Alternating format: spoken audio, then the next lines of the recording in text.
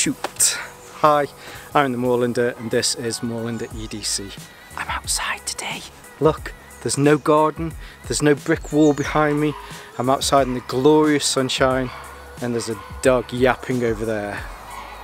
This is what you get when you film outside. This is what you get when you film outside.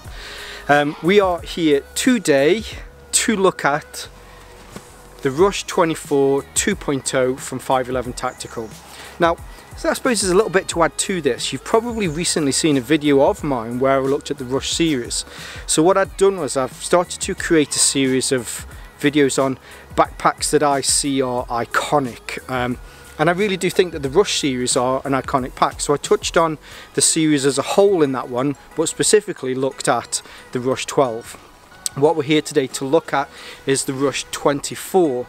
Now again, just to point out, so the Rush 12 isn't a 12 litre pack, the Rush 24 isn't a 24 litre pack.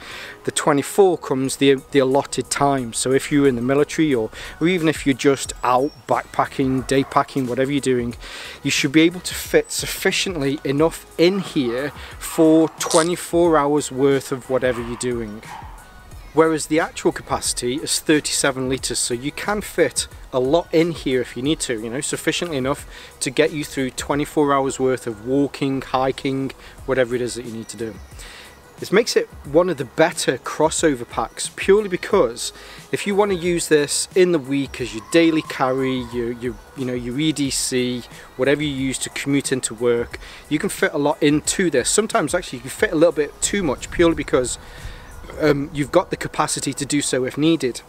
And then at the weekend you get home you take all of that stuff out you put your stuff your gear into it and you go for a good old walk be one with nature. So there is a lot that you can fit into here. Now as mentioned this is the 2.0 version so there are a few upgrades that um, 511 Tactical have made over the original series, which are really more kind of ease of life things that they've just took whatever took before, which was originally a, a very capable pack, and just added some features to it, which have, you know, bumped it up a level. The first one being the internal storage within your admin panel here. What they've done in this panel is they've been able to go through here just to mend the layout of it so that you can fit a little bit more in and what you can fit in you can organise that a little bit better. Behind this admin panel, which goes all the way from the seam on the left and right hand side down to the seam on the bottom and up to the top here, there is a hook and loop section. So when it's pressed in, it stays nice and flush but if needed to you can pull this out and there is a CCW section in the front. If you're out walking in the woods you stumble across mama bear you know it's in there. If unfortunately you're in the city and you need to use it it's there as well if you do choose to off-body carry. When it's in and it's closed it does sit nice and flush. Plus on the inside way down into here there is a large um, hook and loop section across the front so that your CCW isn't just you know freeballing in there. You can make sure that if you have a hook and loop holster that it will it will hold it in place. One of the additional extras. So on the back here up at the top there is a large um, zip. Now the zip entrance into this has actually been increased in size. So it's a lot easier to get into. So it goes all the way from past the left hand to the right hand strap and there's a large pocket in here that is fleece lined so if you want to put uh, your mobile phone in there if you want to put any glasses in there or optics or whatever you choose to put in there is fleece lined to make sure that they don't get scratched at all. The last little thing in here which is quite a big thing especially if you're using this as a daily commute inside the main compartment here where before you had that drawstring kind of pocket that there was before. Now there is a dedicated laptop pocket or laptop section that you can fit a laptop into. Um, I haven't tried with a 17 inch laptop but I've got a 16 inch laptop uh, MacBook Pro at home and it fits into there with room and that's quite a thin laptop. So I'm sure you could probably get a 17 inch into here if it's one of the newer slimmer ones if it's one of those old-fashioned bulky ones you might struggle but getting a 16 inch MacBook Pro in there is, is very easy very easy to slip in very easy to slip out now they're the main differences between the original and the bump up onto the, uh, the, the, new 2.0.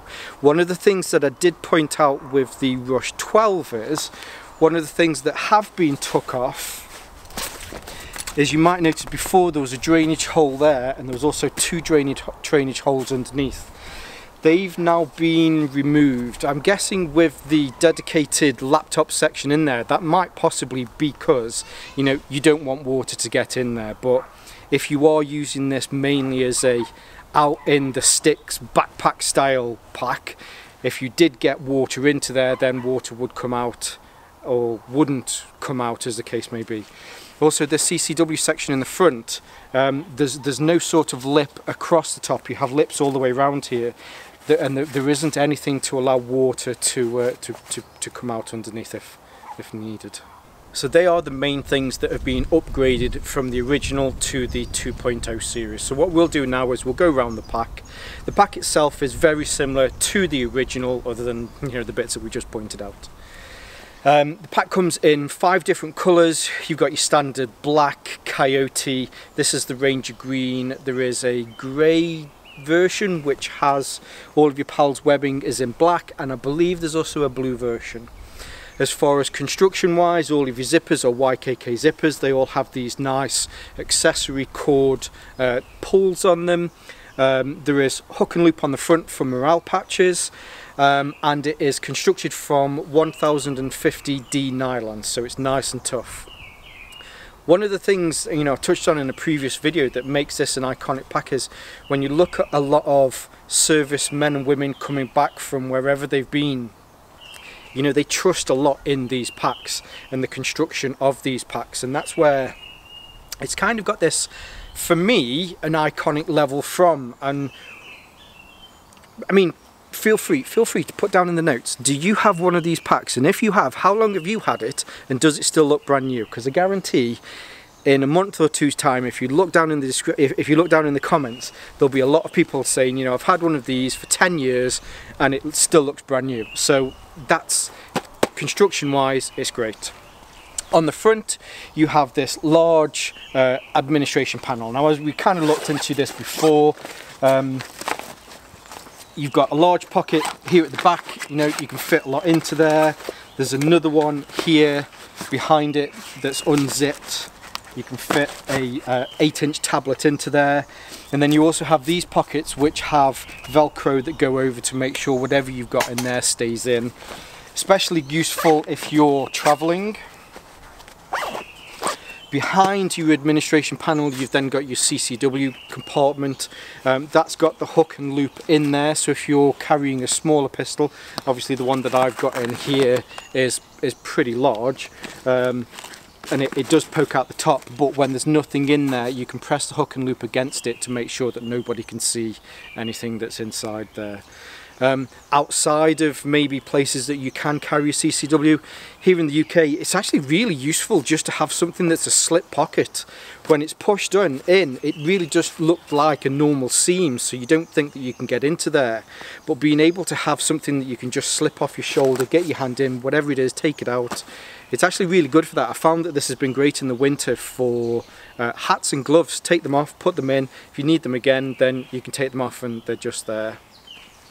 Above there, you then have these other two extra um, easy access pockets. On the Rush on the Rush 12, it's just one big pocket that comes down, whereas on this one, you have these two openings and they're both identical on the same side. So you have a zip mesh pocket that you can put things like car keys into and then behind that you have another fleece line pocket which is great if you want to put your mobile phone if you've got a GPS or anything like that that you want to keep in to make sure that it doesn't get scratched you can put that into there as well. These are super useful and the fact that they are um, ambidextrous depending on what shoulder you have it in, on, you can slip that off, get anything out of that, like car keys, put it back on again, zip it up, job done. So that's mainly the front. You, I mean, it's hard not to notice the fact that there is PALS webbing all across the front of this, even across the top here so, and, and on the sides. So if you have any MOLLE compatible systems, then you can attach these to the front without any issues whatsoever. There is a large hook and loop section on the front there so any morale patches that you want to add you can and then there is a single uh, row here which you can put name tapes onto. On the side you have a large compression strap which is really useful. If I was going to give 511 any sort of feedback I'd, I'd try and see if we can get another compression strap here. Now it doesn't take much if you want to put a uh, tripod on the side just to have some spare accessory cord or some uh, 550 paracord just to help to lash something on. But I think when you're getting to the point that you're going up past 30 litres just something to be able to uh, add some extra compression but also add extra modularity on the side I think a compression strap on the bottom here would have been really good. When you do the Rushed 3.0 series, that's what I'd like to see on there. You get it on the Rush 72, you just don't get it on this model. Um, but one of the main features that I really like on this is the fact that you have this zip pocket. So one of the things that people often commented about is there's no way to be able to get water bottles or anything on the side. So here, behind this really large rain hood or rain collar, you have a large pocket that goes from this top seam all the way down to this bottom seam that you can fit. Now, Coca-Cola bottles are a standard size pretty much throughout the world. So you can fit a standard Coca-Cola bottle in the side and still have a little bit more room as well. On the opposite side, you have exactly the same on this side. Now what I've done with this one is instead, we've got a standard Monster can. Again, Monster's pretty standard in size all throughout the world and I've still got enough room in there to be able to fit a Mora knife as well. Unfortunately, if you've got larger Klean Kanteens, if you've got larger um, Nalgene bottles, you're not going to be able to fit those in there purely because, I mean, you're pushing it trying to get um, one of the, well, it's not really pushing it, but think around that size of a standard Coca-Cola bottle. If you can fit one of those, then, you know, it'll fit here outside that when you're getting towards maybe half a litre or a litre you'll probably struggle to get that in there. But again it also makes it um, really good for traveling. If you're out you know you need to get something you unzip it you put it in it makes it great for that. On the bottom which a lot of backpack companies don't do you have some extra lashing points on here. Whether you're in the city, whether you're out in the country, you know, if you want to lash something to the bottom, it makes it very simple and easy to do that. On the top, it has a completely plain top apart from this really nice big grab handle and then you have that larger um, zip with a fleece line pocket on the back. Normally I'd go into the, the, the main section but I thought might as well do this, this back section first. So on the back here uh, you have um, somewhere that you can put a hydration reservoir. This is double zipped, so at the moment with the zip down on both sides, that means that it's closed. So if you want to go in this side, you can go all the way across, or vice versa, and you can fit um, a large hydration system in there. One of the things I didn't mention in the last video, and shout out to Copter777 who mentioned this, is when that's in there, you have a rigid back panel in here that you can remove that and with that removed it does make the back of this section a lot more malleable. Um, and it means that when you've got it on your pack or at least when you've got it on your back it makes it a lot easier to be able to carry in it it definitely conforms a lot more to your back. One of the biggest things that everybody talks about on the 511 Rush series is the yoke system that they have on their suspension system it makes carrying a pack like this so much easier. The yoke is the section here that goes across your back and it fits really nice and snug on your back and it does relieve a lot of the pressure rather than having to have uh, a tightening system that pulls it closer to you, a lot of this alleviates the weight rather than it being two separate straps that pull down on each of your shoulders. This fits like a yoke, like you'd be carrying milk back from the farm. It fits like a yoke and it, it definitely is a lot nicer whilst carrying it. As you'd expect, there is a great sternum strap on there. Um, some people really like sternum straps, some people hate them. Personally, I'm a sternum strap kind of guy, I quite like them. I find again it just alleviates a little bit more of that pressure on your shoulders. And then what you also have on the sides here are two two inch um, D-rings so that if you want to put a belt onto this then you can do. Everything else on there is nice and flush. There are some grooves to allow some air in there but you know if you're going to sweat you're going to get wet at the end of the day um, but it just means that it will dry out a lot faster. And then the last bit really is the main compartment. So again you have ambidextrous opening, YKK zippers um, and these are the big nice size 10 zippers. You don't get um, AquaGuard zips on this. However what you do find is each of all of the zips all around the pack have these really nice thick rain hoods. So if you're worried about water getting in there obviously no zip apart from maybe an AquaGuard zip is 100% waterproof but with these rain hoods it does stop all well let's say 95% of the water getting into your pack on a torrential downpour if it's just a little kind of you know it's just spitting a bit then that's fine I don't know where that came from moving on swiftly. So as mentioned, this is a 37 litre pack. What I've used is, you can quite handily use the compression straps here to make sure that if you're zipping stuff down and your pack's full, it just does it halfway, or at least so that your things don't fall out. But you know, I've got something to keep, make some water, an extra layer just in case it gets cold, uh, a litre bottle there. I've got some extra pouches that I use for my camera equipment and just some extra things in there as well. It pulls all the way down. It's not a full clamshell, technically speaking, because there is a good two or three inches here at the bottom to stop it from opening full. Um, but if you want to, you know, with the YKK zippers, you just pull it, open it, rip it open, and it opens perfectly. Here on the inside, you'll be able to see there is this nice large uh, laptop section there is a keeper there as well, and then you can see on the inside. Through these sides and the back, these are lined, and mainly that's because of these pockets here. So you do need to remember that whatever is in this pocket will come into the pack slightly just to change some of the dimensions that are in there. And as you'd expect from 511, the fit, the finish, the quality is it's amazing, really is. There is a reason why hundreds and thousands of servicemen and women around the world use this pack. It just is a great pack. Whether you're in the military, whether you're not, you really can't get better than the Rush series. You know, they're great. Sound like I'm blowing smoke up 511's arse here. And maybe I am a little.